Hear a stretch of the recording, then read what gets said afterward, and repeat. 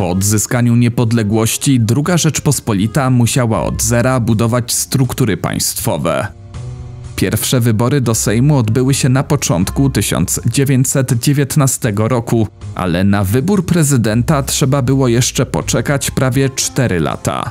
Wybór, który zakończył się jedną z największych tragedii w politycznej historii Polski.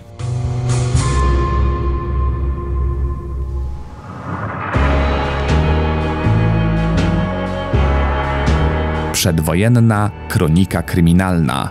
Zapraszam, Kamil Barnowski.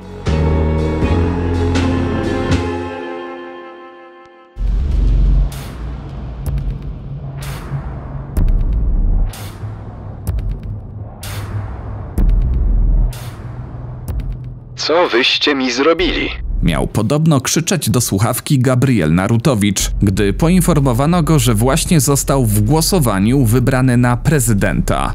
Nie tylko on się tego nie spodziewał. Zaskoczenie polityków czy opinii publicznej było równie wielkie.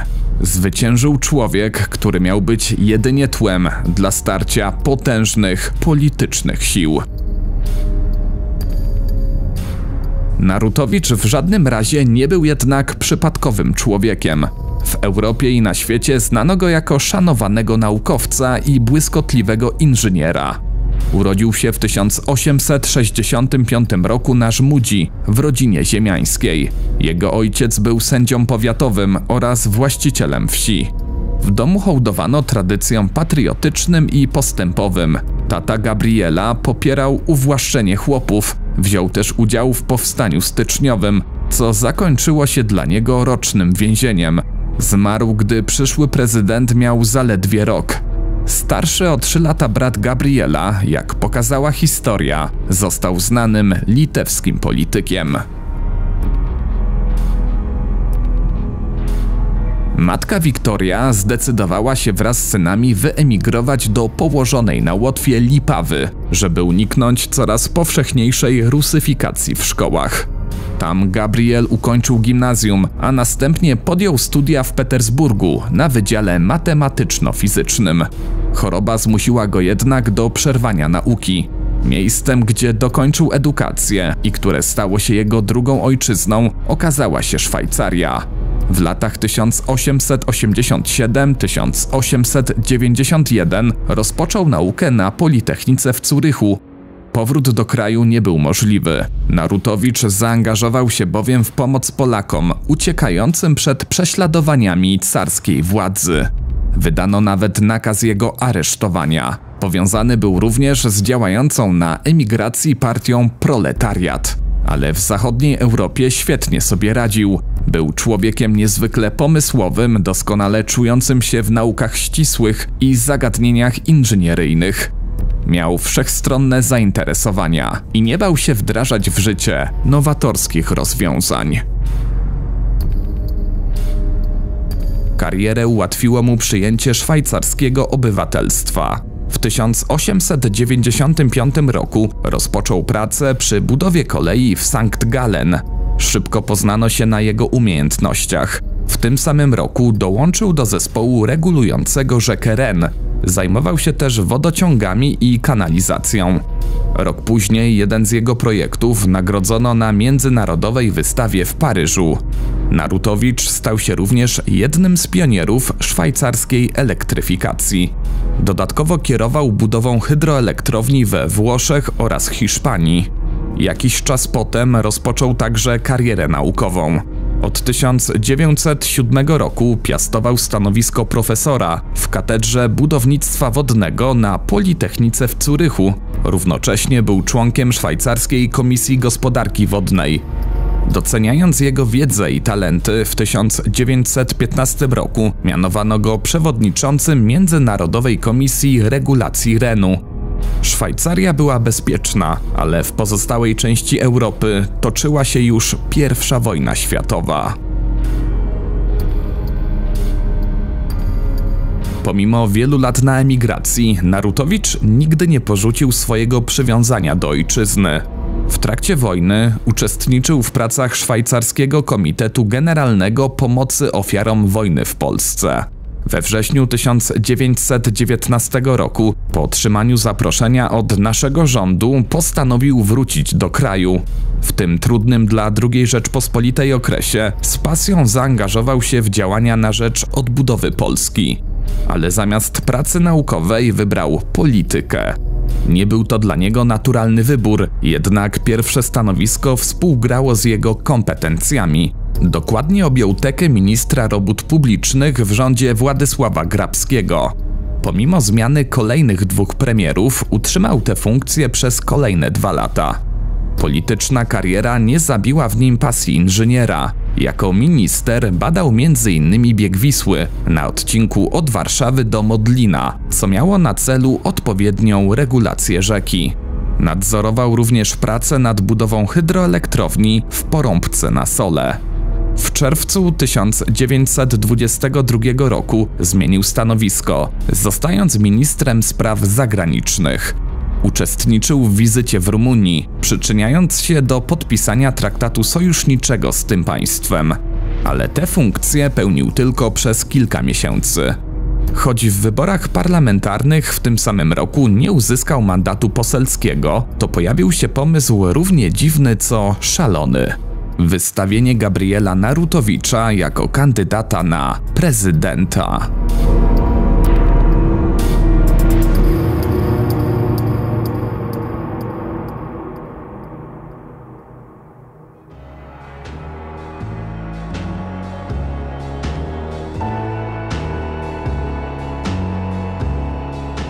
Wydawać by się mogło, że po odzyskaniu upragnionej niepodległości zapanuje harmonia i zgoda narodowa. Był to jednak tylko krótki epizod w momencie zagrożenia państwa ze strony bolszewików. W Sejmie, prasie i społeczeństwie siły centroprawicowe i centrolewicowe toczyły za sobą zażarte spory. Niejasne były też kompetencje i możliwości działania naczelnika państwa, Józefa Piłsudskiego. Aby ustabilizować młodą demokrację, wybór prezydenta stał się więc koniecznością. W przypadku wyborów parlamentarnych prawo do głosowania mieli wszyscy uprawnieni obywatele. Głowę państwa wybierano już jednak w Sejmie. Za najpoważniejszego kandydata uważano Józefa Piłsudskiego. Naczelnik jednak zrezygnował z ubiegania się o to stanowisko. Było to sporym zaskoczeniem. W tych okolicznościach pewna zwycięstwa była Narodowa Demokracja, która wraz z innymi partiami prawicowymi wystawiła jako kandydata Maurycego Zamojskiego. Obok niego do walki o fotel prezydencki stanęli Ignacy Daszyński reprezentujący PPS, Stanisław Wojciechowski popierany przez PSL Piast oraz Jan Niecisław Boduadu Kurtone wystawiony przez mniejszości narodowe. Gabriel Narutowicz startował jako przedstawiciel PSL Wyzwolenie. Była to partia o dość lewicowych poglądach, postulująca świeckie i ludowe państwo z powszechnym dostępem do edukacji. W dużej mierze zbieżna w programie z ideami, którym wierny był Narutowicz. Ten pomysł wyszedł od lidera wyzwolenia Stanisława Tuguta. Sam kandydat nie był tym zachwycony, ale nie protestował. Zdecydował się jednak skonsultować z Piłsudskim, który odradził mu kandydowanie, równocześnie stwierdzając, że popiera Wojciechowskiego, kandydata PSL Piast. Po tej rozmowie Narutowicz podobno odmówił, lecz po ponownych naleganiach Tuguta zgodził się wziąć udział w wyborach. Być może zadecydowało poczucie obowiązku. Z pewnością jednak zasłużony inżynier nie przypuszczał, że jego kandydatura ma jakiekolwiek szanse na zwycięstwo. Pierwszej turze głosowania, przeprowadzonego przez Zgromadzenie Narodowe, najmniej, bo tylko 9% głosów uzyskał Ignacy Daszyński. Narutowicz miał zaledwie 2,5% więcej. Zamojski z ponad 40% poparciem wydawał się żelaznym faworytem. Jednak w kolejnych głosowaniach poparcie dla Narutowicza rosło. Wynikało to z pragmatyzmu. Prawicowa endecja miała w parlamencie silną pozycję. Posłowie centrum i lewicy oraz mniejszości narodowych woleli przenieść swoje poparcie na przedstawiciela PSL Wyzwolenie, niż pozwolić wygrać kandydatowi narodowej demokracji. W piątej turze na placu boju pozostał już tylko Narutowicz i Zamojski. Dla Endecji było niemal pewne, że wygra jej kandydat. Być może faktycznie tak by się stało, gdyby nie fakt, że Zamojski był największym właścicielem ziemskim w byłej kongresówce. Lider PSL Piast, Wincenty Witos, był niechętny Tugutowi i jego partii. Ale oddanie głosów na posiadacza ziemskiego było całkowicie sprzeczne z chłopskim charakterem Piasta. Zwycięstwo nieoczekiwanego pretendenta stało się więc faktem. Właściwie natychmiast rozpoczęła się nagonka i kampania oszczerstw. Elekt nie cieszył się z wygranej, rozważał nawet rezygnację, do czego namawiał go Witos.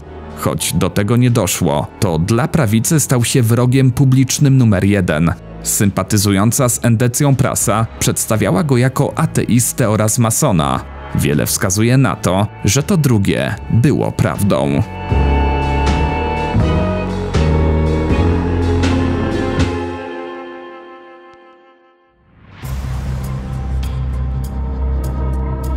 Jedenastego grudnia, przed zaprzysiężeniem prezydenta, prawicowi delegaci złożyli do marszałka Sejmu absurdalny sprzeciw.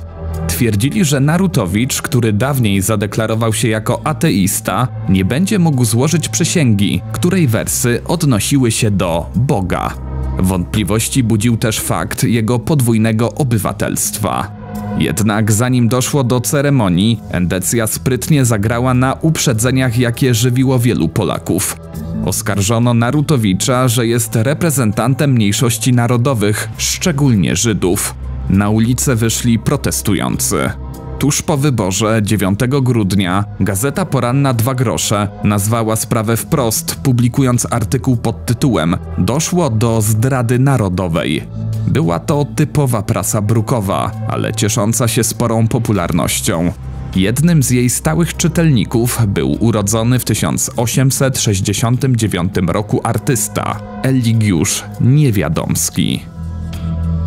Była to postać nietuzinkowa, pod wieloma względami człowiek równie utalentowany jak Narutowicz.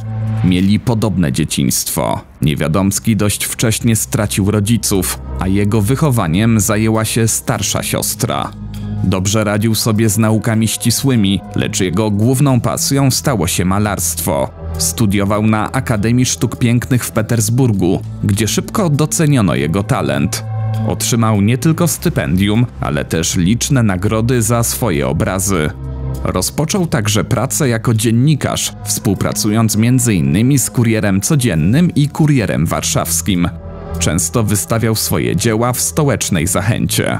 Podejmował starania o utworzenie w Warszawie uczelni wyższej sztuk pięknych, jednocześnie ściągając do stolicy wielu wybitnych twórców. Należał również do pionierów polskiego taternictwa. Został wykładowcą rysunku na Politechnice oraz kilku prywatnych szkołach. Jednak cieniem na niewątpliwie błyskotliwej karierze Eligiusza Niewiadomskiego kładły się jego poglądy polityczne. Jeszcze przed odzyskaniem niepodległości działał w organizacjach patriotycznych. Szybko zaczął dryfować w kierunku nurtów prawicowych, zwłaszcza związanych z narodową demokracją. Stał się o wiele bardziej radykalny niż jego członkowie. Poróżnił się z Ligą Narodową, będącą prekursorem endecji w trakcie trwającej w 1905 roku wojny rosyjsko-japońskiej. Mężczyzna nalegał na przeprowadzenie ataku dywersyjnego na mosty na Kamie i Wołdze, ale jego pomysły zostały odrzucone. Był zadeklarowanym nacjonalistą i antysemitą. Odzyskanie przez Polskę niepodległości i wygrana w wojnie z bolszewikami wcale nie ukoiła lęków niewiadomskiego. Wręcz przeciwnie. Pierwsze lata wolności postrzegał jako porażkę, obwiniając Piłsudskiego o oddanie władzy lewicy i Żydom. Miał zamiar dokonać zamachu na naczelnika, lecz wszystko zmieniła rezygnacja marszałka z kandydowania na prezydenta. Zamiast niego pojawił się Narutowicz. Eligiusz nie czuł do niego niechęci jako do człowieka. Prezydent elekt był jedynie symbolem tego, czego nienawidził.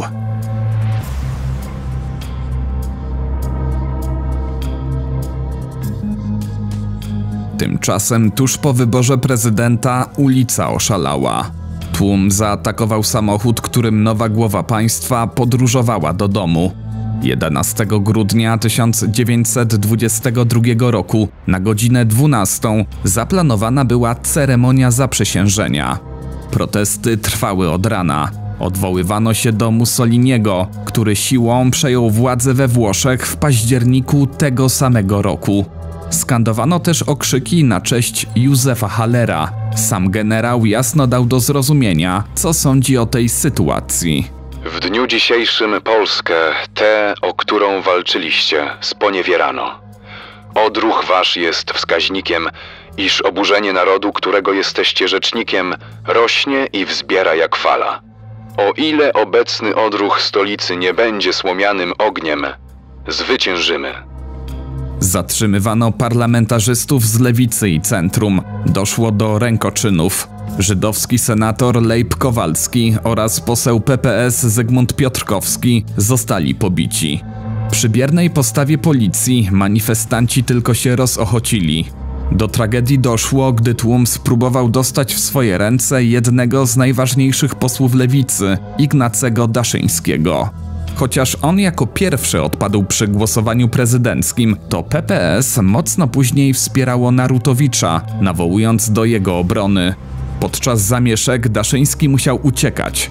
Otoczony przez nienawistny tłum znalazł się w pułapce. Z pomocą przyszli robotnicy. Doszło do strzelaniny, w trakcie której zginął robotnik Jan Kałuszewski. Było też wielu rannych.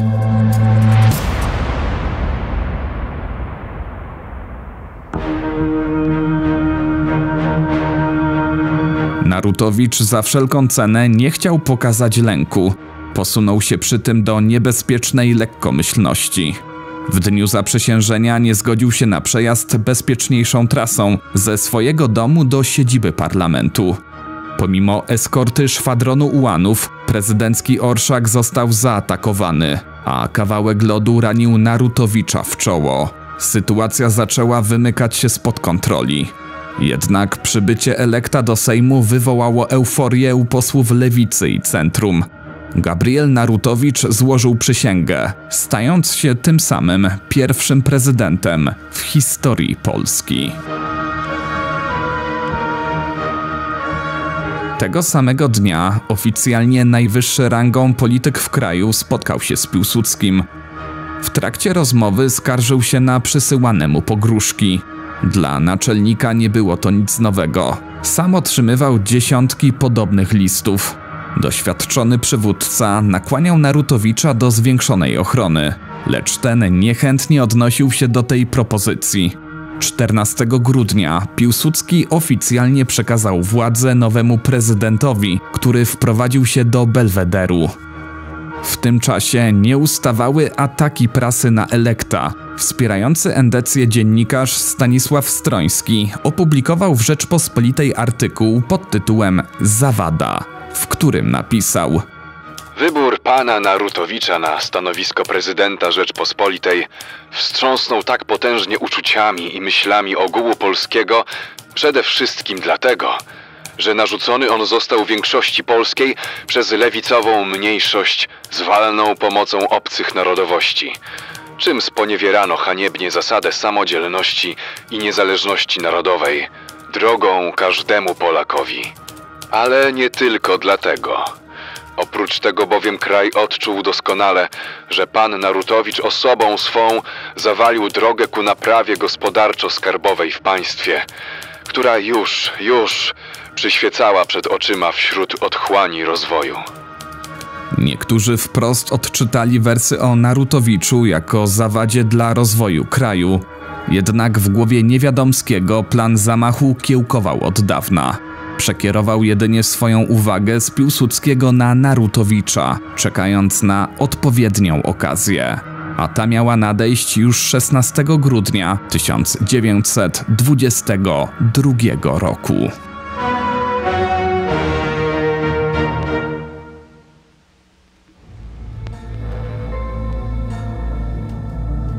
Narutowicz doskonale rozumiał, w jak trudnej sytuacji się znalazł. Dla wielu posłów był jedynie przymusową koniecznością, dla innych wrogiem. Szybko też pojął, że musi stać na straży politycznej niezależności. Niedługo po zaprzysiężeniu oświadczył, że zamierza pozostać bezstronny i nie będzie sprzyjał żadnej partii politycznej. Ta deklaracja nikogo jednak nie przekonała. Dla prawicy pozostawał wrogim elementem narzuconym Polsce przez Żydów. Nowy prezydent koniecznie chciał pokazać, że nie boi się pogróżek i napiętej sytuacji.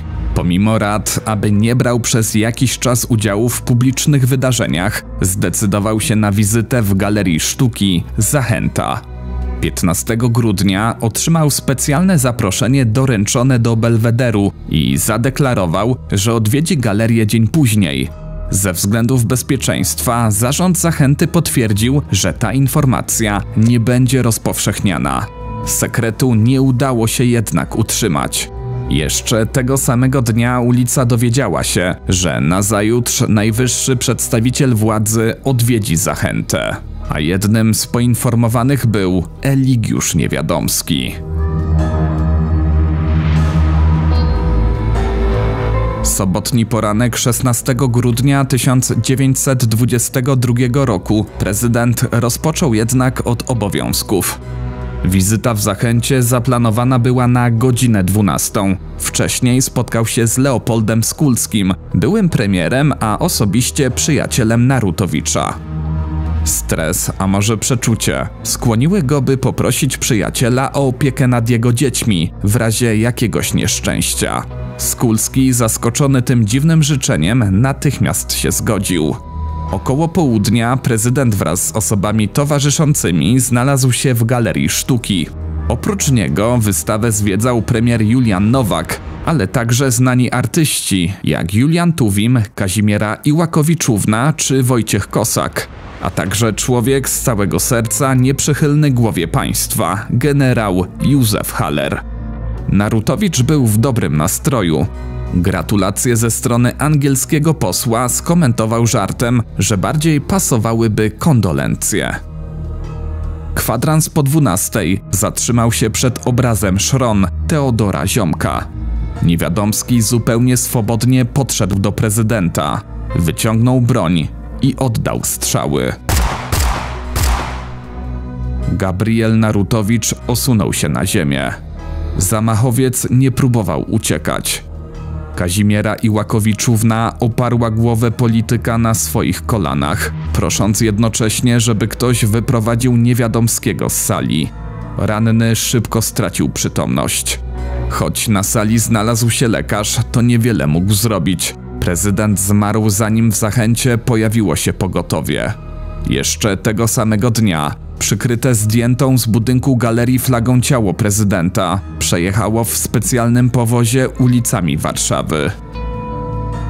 W stolicy nie potrafiono uwierzyć w to, co się stało, choć wielu osobom odpowiadał taki obrót sprawy. Niewiadomski nie stawiał oporu. Od początku było dla niego jasne, że po zabójstwie odda się w ręce sprawiedliwości. Czy pomysł zamachu był jego własną inicjatywą? Nigdy nie znaleziono żadnych dowodów wskazujących na istnienie wspólników. Jednak jego służąca twierdziła, że kilka dni przed zabójstwem prezydenta odwiedzili go tajemniczy goście. Sensacyjne wieści mówiły nawet o losowaniu kulek, podczas którego niewiadomski wyciągnął czarną, on sam nie dał jednak śledczym i sądowi najmniejszych podejrzeń, że za morderstwem krył się ktoś jeszcze. Cały proces, który rozpoczął się 30 grudnia, trwał krótko. Wina oskarżonego była niepodważalna, a sam zamachowiec nie zamierzał specjalnie się bronić, prosząc o karę śmierci.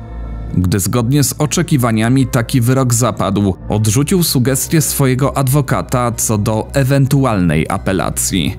Zostanie męczennikiem za sprawę było dla niego oczywistą konsekwencją podjętych działań.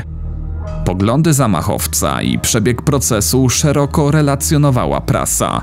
Jej prawicowa część natychmiast po tragedii zaczęła odżegnywać się od odpowiedzialności. Stanisław Stroński, który jeszcze kilka dni wcześniej pisał o Narutowiczu jako o zawadzie, teraz opublikował tekst pod tytułem Ciszej nad tą trumną, gdzie starał się usprawiedliwić i wybielić prasę, a przede wszystkim samego siebie.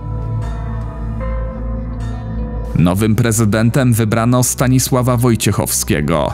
Nie zastosował on prawa łaski wobec zamachowca, mimo że nakłaniano go do takiego kroku. Motywem tych próśb nie była litość wobec Niewiadomskiego. Obawiano się raczej, że po śmierci odegra rolę męczennika dla nacjonalistycznych grup.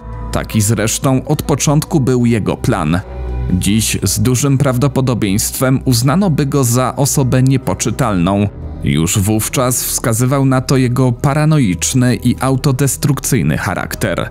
Bardzo możliwe, że jednym z jego zaburzeń był tak zwany obłęd posłannictwa. To pod jego wpływem dążył do celu bez względu na konsekwencje. A tym celem, według jego własnego mniemania, było uratowanie Polski przed żydowsko-komunistycznym spiskiem. Przez miesiąc, który spędził w więzieniu, wyłożył swoje poglądy w manifestie politycznym zatytułowanym Kartki z więzienia. Gdy 31 stycznia stanął przed plutonem egzekucyjnym, poprosił, by nie zawiązywano mu oczu. Jego ostatnie słowa brzmiały: Umieram za Polskę, którą gubi Piłsudski. Choć był szaleńcem, czuł się bohaterem.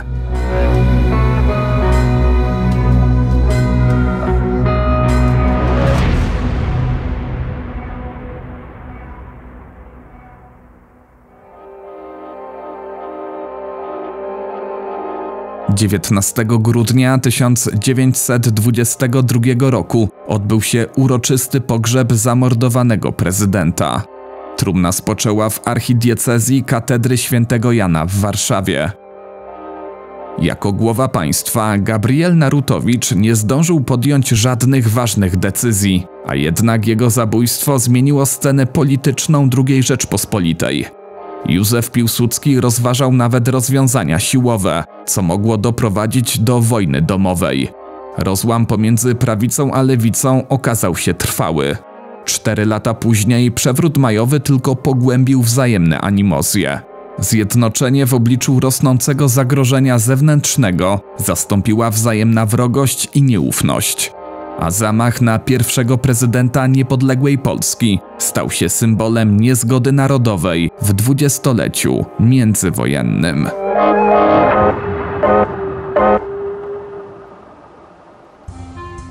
Kolejny premierowy odcinek podcastu Opowiem Ci historię już w przyszły poniedziałek o 20.